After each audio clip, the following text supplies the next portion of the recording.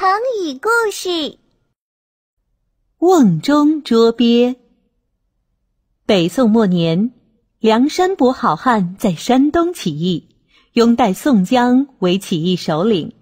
起义军纪律严明，杀富济贫，镇压土豪劣绅，屡屡挫败朝廷讨伐的军队，声威震天下，老百姓拍手叫好。在梁山伯大寨不远的山下，有个杏花庄，庄上有个小酒店。酒店的老汉家中别无他人，只有一个十八岁的女儿，名叫满堂娇。满堂娇长得美貌动人，与老汉相依为命。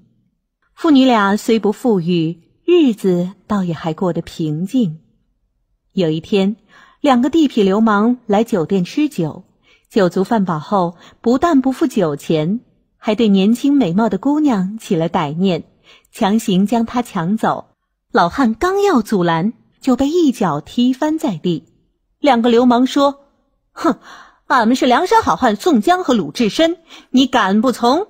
这小娘子陪我们两天就回来，你如声张出去，小心劳命。”说罢。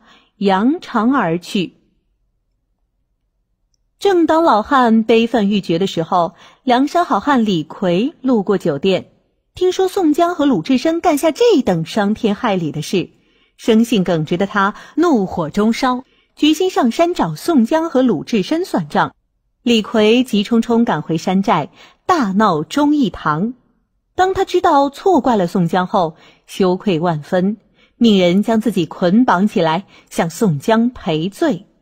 这时，老汉来报告说，那两个恶汉又来了，被他灌醉后，正在店里酣睡。李逵兴奋地说：“来的正好，看老子瓮中捉鳖，收拾这两个坏蛋！”李逵手提板斧，火速下山，终于除掉了这两个冒充梁山好汉、败坏梁山名声的流氓。